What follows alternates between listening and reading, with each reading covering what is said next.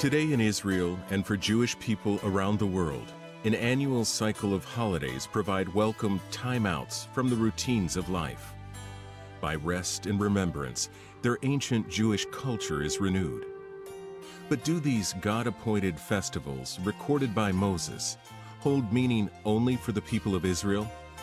the nation of Israel, whose calendar reminds its people of the appointed times of the Lord, times of rest and remembrance, specific times that look back and times that point to the future.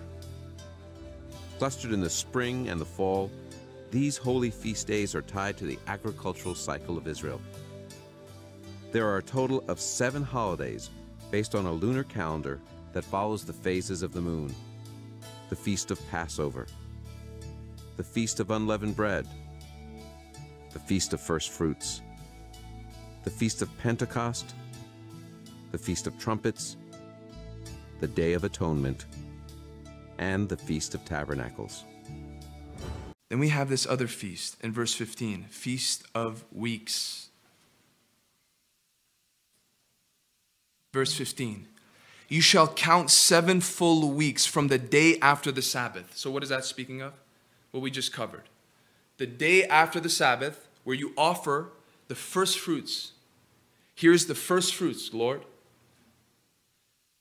Count seven weeks from that point from the day you brought the sheaf of the wave offering. That's what we talked about. So you bring the sheaf, you say, Lord, this is yours. This belongs to you, God. I worship you that you've provided for me. Okay, seven weeks from that moment. Verse 16, you shall count 50 days to the day after the seventh Sabbath. Then you shall present a grain offering of new grain to the Lord. You shall bring from your dwelling places two loaves of bread to be waved, made of two tenths of an ephah. They shall be of fine flour, they shall be baked with leaven as first fruits to the Lord. So, what's going on here? So, from that day of first fruits, seven weeks, 50 days from that place, they were to come now during this time of harvest and offer new grain. So, up to this point in their season of harvest, they were to bring another offering as thanksgiving to the Lord. And recognizing that God is the one who's sustained them, God is the one who's provided all these things up to this point. And no, notice the emphasis new grain. This is not the same as what we talked about in the first fruits. This is not the, the, the blossoming there in the beginning. No, this is something that's, that's talking about a different kind of harvest. And they were to come, bring this before the Lord, and they were to say, again, we recognize your blessing. Now, let me read this to you. You don't have to turn there. But in Exodus 23 16, because some of these feasts have different names, and some people can get confused. But a synonymous feast name to this is in Exodus 23 16, called the Feast of Harvest. The Feast of Harvest. And how fitting is that name in light of what it means prophetically? The Feast of Harvest. In the New Testament, does anybody know what this feast is called? Pentecost, meaning 50th. So 50 days, Pentecost. Okay. Question When did Jesus raise from the, the dead? The first fruits, right? Celebration of first fruits. When was the Holy Spirit poured out on the church? 50 days after Jesus rose from the grave. What happened on the day of Pentecost? 3,000 came. Your harvest. Harvest. A harvest of souls were presented on that day.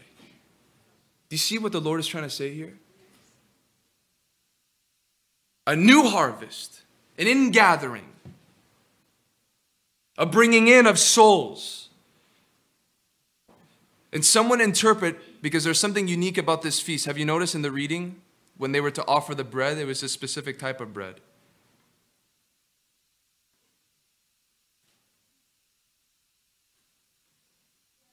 leavened bread. Hmm? Leavened. But unleavened means without sin, and you want to bring leavened bread?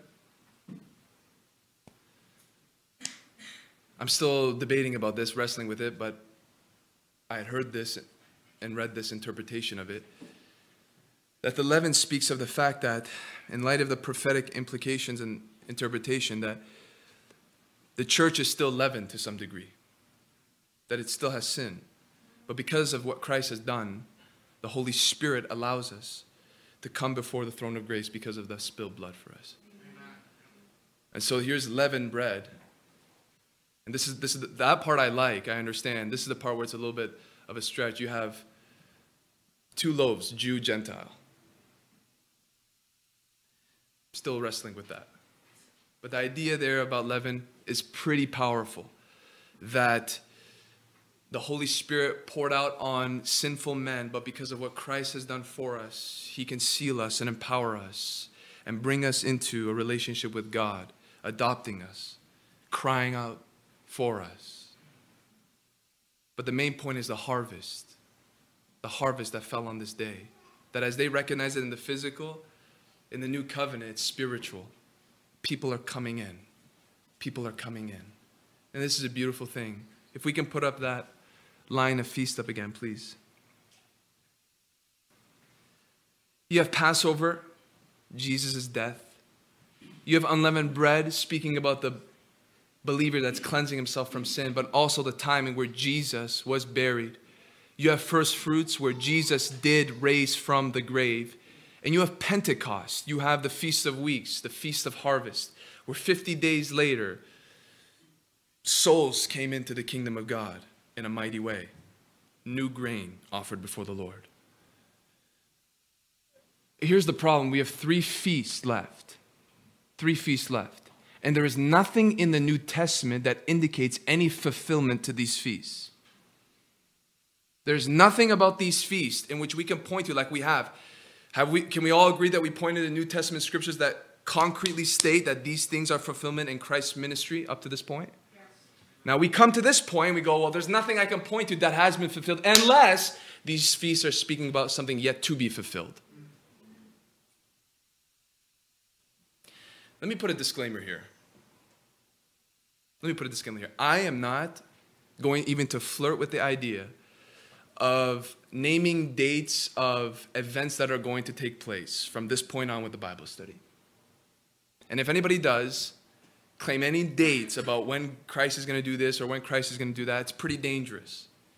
In fact, people have gone to the extreme where they have really proclaimed these kind of things and they got themselves in trouble. And they have the audacity to say, oh, I, I misheard that date. It's actually this date. And that is not what I'm doing here. But nevertheless, the events that are going to be seen in the rest of these feats are un. There's no doubt that they have some kind of prophetic whisper in them. You can take that down. Thank you. When you come to the end of the Feast of Weeks, it comes to the end of the spring feast. And then there's this interval time between the Feast of Weeks and the next feast. There's, there's this gap.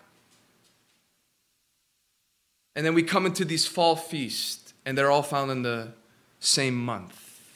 And I believe that that gap between the Feast of Weeks and the next feast speaks about a certain age what age do you think that is speaking of? The church age. Souls are still coming in. There is still a harvest. People are still hearing the gospel. God is slow, slow in judgment because he wants all to reach repentance. And so, if you want to know where we are in this calendar, we're right here, the church age. So, what are we waiting for next?